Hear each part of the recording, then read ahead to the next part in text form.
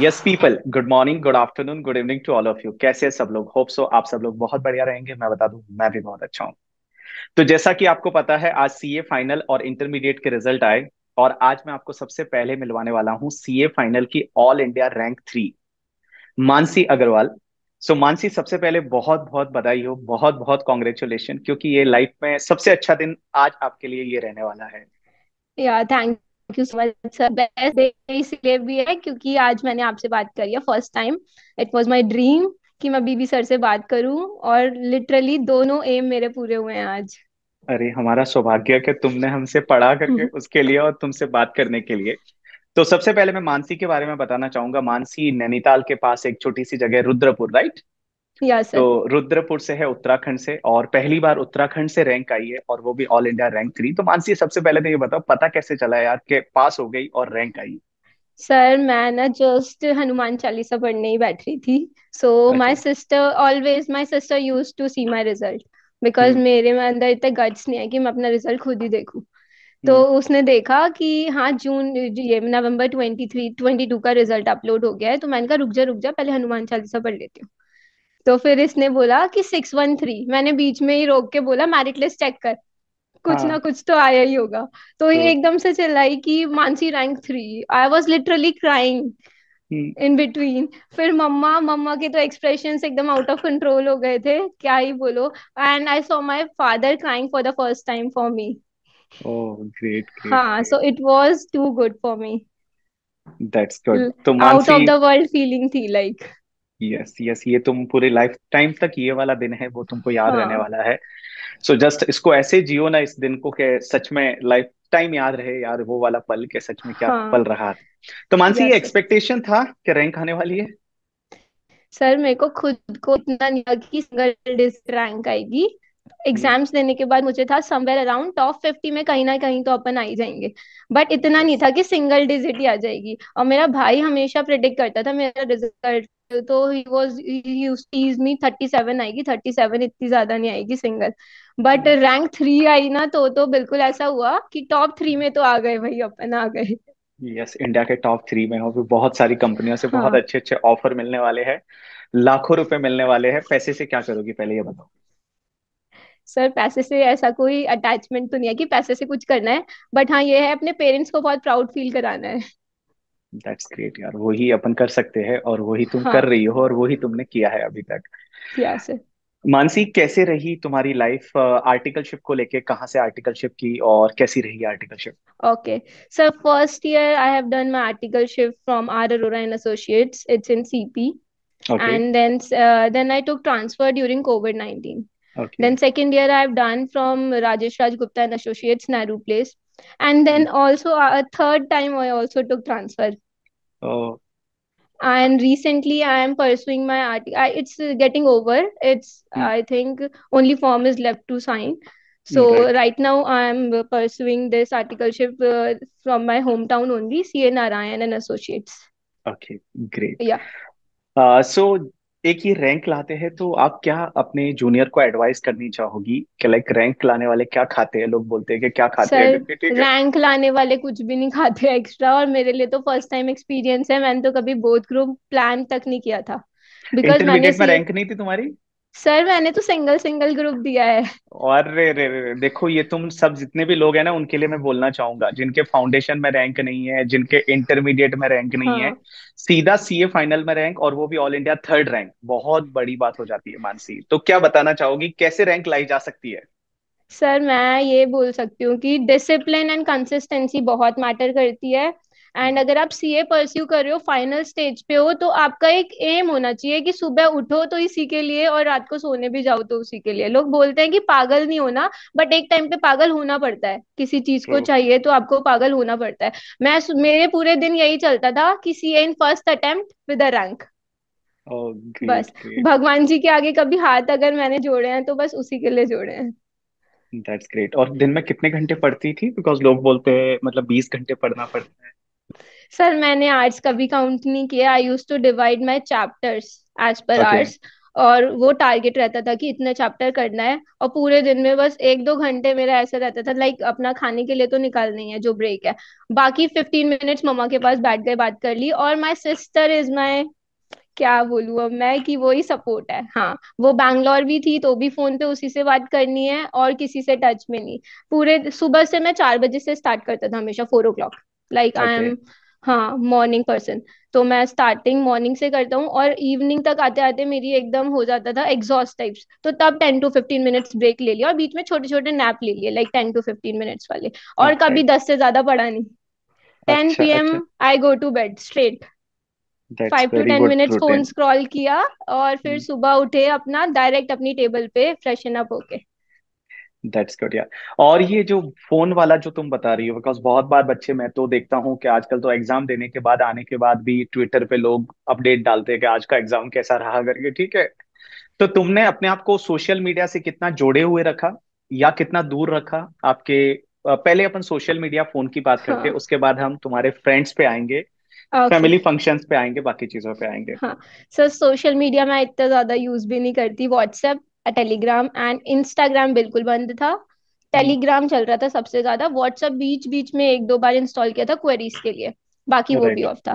Telegram में भी एक दो फ्रेंड से स्टार्टिंग में बात हो रही थी। लास्ट तक वो भी बंद हो गए थे सब कुछ। उसमें भी केवल टीचर्स के लिए थे। तो सोशल मीडिया मेरा ऑफ़ ही था बिल्कुल। मेरे को यूट्यूब लेकिन मैंने बहुत ज़्यादा यूज़ किया है।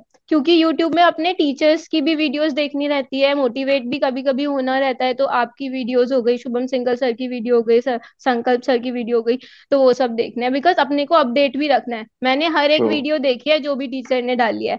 लेकिन ऐसा किसी को शो नहीं करना कि हम सब देख रहे हैं और वो भी अपने ब्रेक्स में देखनी है। ऐसा नहीं है कि स्टडी के यार्ड्स निकाल के तुम पहले वो देख रहे हो कि मोटिवेट हो जाते हैं। मोटिवेट अपने अंदर से होता है बंदा।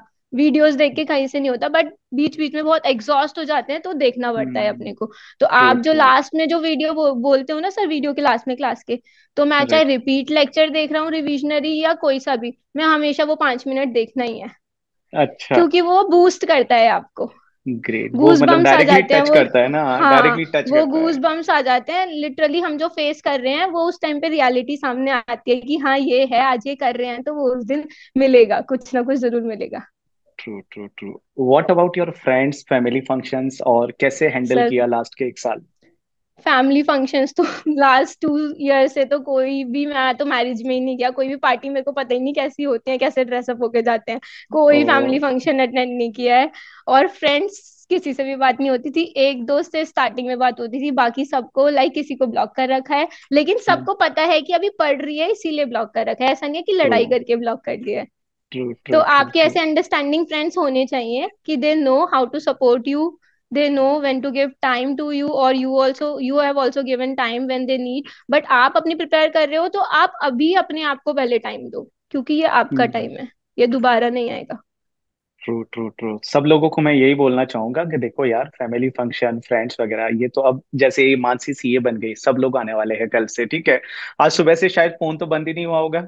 हाँ सर बिल्कुल भी नहीं हुआ। मेरी सिस्टर ही हैंडल करती है ज़्यादातर चीज़ें सारी। वाह तो सुबह से फ़ोन आ रहे हैं। अभी सब लोग जो है वो लाइक इनको विश करेंगे। तो कुछ पाने के लिए सच में कुछ ना कुछ सेक्रीफाइस करना हाँ। पड़ता है कुछ ना कुछ खोना पड़ता है। तो वो सब आपको भी करना पड़ेगा अगर आप अ, एंड अच्छी सर रैंक लाना दोज हु चाहते हैं। ट्रस्ट यू तो वो वेट करेंगे आपके लिए।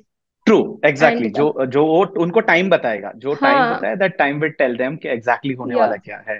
एग्जैक्टली राइट और मानसी लाइक जैसे तुम्हारे डीटी में 72 मार्क्स आए पहली चीज़ तो डीटी बहुत ही वास्ट पेपर है। बच्चों को जब देखते हैं ना तो सेकंड ग्रुप में तीन सब्जेक्ट एक साइड रख लो डीटी एक साइड रख लो। एक तरफ़। इतना वास्ट पेपर है and how you prepare for DT and how you score the 72 marks sir सबसे पहले तो जब आपका फ़र्स्ट टाइम लाइव लेक्चर आया था लेना लाइव ही था लेकिन मेरे को हम्म। ऐसा रहता था यार तीन घंटे का लेक्चर रहेगा अपन धीरे धीरे नहीं देख पाएँगे उतने में तो रिवाइज भी कर लेंगे। तो अपन लिया ऑफलाइन वाला। तो आपका लाइव लेक्चर लेकिन खत्म हुआ तो उस दिन मेरा ऑफलाइन भी खत्म हो गया था। मेरे को यही टारगेट था मेरे को खत्म करना है उसी दिन। और उसके साथ साथ एक रिवीजन भी खत्म हो गया था। जो कि क्लास अगर लाइव रहता तो नहीं हो पाता क्योंकि अपन को और क्लासेस भी देखनी है। फिर उसके बाद ही डीटी में ऐसा करना होता है क्लास खत्म होते है तो साथ साथ एक रिवीजन हो गया बट उसके बाद फिफ्टीन डेज़ या ट्वेल्व डेज़ लगा के खुद एक बार रिवीजन कर लो। क्योंकि डीटी के प्रोविजंस क्वेश्चंस करना बहुत वो है कि क्वेश्चन बहुत सारे हैं। और केवल प्रोविज़न बेसिस कुछ नहीं होता सर क्वेश्चन करना बहुत नेसेसरी है। सर मैंने आपकी बुक कम से कम फाइव टाइम्स करी होगी। और मैं ये नहीं बोलता स्टडी मैथ से नहीं करना स्टडी मैथ से हम्म, करो बट ट्रस्ट करो अपने टीचर को जिससे भी आप क्लास ले रहे हो। मैंने किसी की भी स्टडी मैथ ना छुई तक नहीं है। क्योंकि आई ट्रस्टेड द टीचर्स जिनसे मैंने क्लास ली है उसमें हम्म, सारे आईसीआई के क्वेश्चन है ये मैं बिलीव करता हूँ। और अभी यस मेरा रिज़ल्ट भी ये लोगों को बिलीव करा सकता है कि हाँ है। मैंने कॉस्टिंग में भी ऐसे ही किया था ऑप्टिमाइज चार से पाँच बार करी है और डीटी में भी। आपकी कॉम्पैक्ट फ़र्स्ट टाइम मैंने आपकी बुक से किया देन कॉम्पैक्ट किया हाँ रेगुलर वाली। की वो उसमें नोट्स लिख लिए थे कि एक दो चीज़ें जो वैसे कुछ मिसिंग है नहीं हम्म मुझे नहीं लगता कुछ भी मिसिंग है। कॉम्पैक्ट से किया उसके बाद लेकिन फाइव टाइम्स रिविजन किया है। वाह दैट्स ग्रेट वो फाइव टाइम रिज़ल्ट हाँ रिज़ल्ट और उसी से है। कभी भी ना उड़ा उड़ा के रिवीजन नहीं किया ऊपर ऊपर से। मुझे लगता था अच्छा कि मानसी तू ना ज़्यादा टाइम दे रही है। You are giving more time to one chapter but first two revisions में you have to give time ताकि थर्ड फोर्थ फिफ्थ रिविजन जल्दी जल्दी हो जाए। और एग्ज़ाम से पहले दिन के लिए sir I have prepared an excel sheet for all the subjects जिसमें अच्छा। मुझे पता है कि इस चैप्टर का ये क्वेश्चन नंबर देखना है इसके क्वेश्चन पेपर से ये वाला क्वेश्चन देखना है। आपने वो टॉप थर्टी क्वेश्चंस बनाए थे। ये वाला हाँ। क्वेश्चन मेरे को अलग से लगा है तो ये यहाँ से देखना है। तो वो टॉपिक वाइज मैंने एक्सेल शीट में डिवाइड कर लिया था। लास्ट डे की प्रिपरेशन हमने थर्ड रिवीजन से ही स्टार्ट कर दी थी ये सारी चीज़ें करने और जैसे ही आपने टॉप थर्टी दिए तो उन चैप्टर्स में एड ऑन कर दिया एक्सेल शीट में कि ये क्वेश्चंस मैंने देखने हैं। ट्रू ट्रू ट्रू यार बहुत हार्डवर्क करना रहता है। सब लोगों को हाँ। सुनो तुम लोग बाकी जितने भी लोग सुन रहे हो ना वो मानसी को सुनो कितनी प्लानिंग होती है। ये जो प्रोसेस है ना लोगों को आज रिज़ल्ट दिखता है यार कि इसकी बंदे की थर्ड रैंक आ गई। बट उसके पीछे के जो एफर्ट्स है उसकी जो प्रोसेस है वो आप नहीं जानते उसने कितना एफर्ट लगाए हैं। साल दो साल से कोई फैमिली फ़ंक्शन में नहीं जाना किसी फ्रेंड से बात नहीं करना सोशल मीडिया से दूर होना।